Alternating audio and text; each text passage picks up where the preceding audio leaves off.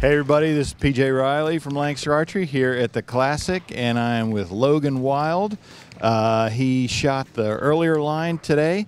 Uh, Logan, how did you feel about your end? I believe you said you dropped a couple of 11s. How did how'd you feel about today?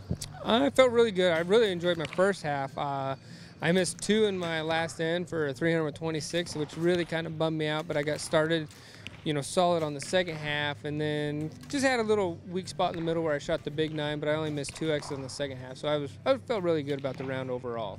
That's very good. Um, now, Lancaster Archery Classic, you've shot that many times. It's a different format than a lot of the other tournaments. What do you like about it? The fact that I shot a nine and still not out of the race is a pretty nice advantage. Um, you know, next week we'll be in Vegas, and you shoot a nine there, and you may as well just go home. So. Right?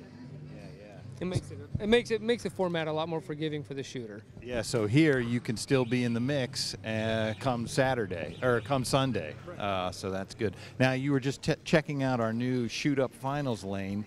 What do you think about that uh, setup? The venue is going to be amazing. I mean, we got spectators being able to sit on both sides and behind us, and you know, Rob puts on a just a world class organization shoot, and I mean, he didn't spare any expense here again. I mean, you can see with the platforms for the targets and for the shooters to stand on. I, I think it's going to be amazing. There you have it. Logan Wilde. Look for him to keep on shooting at the Lancaster Archery Classic.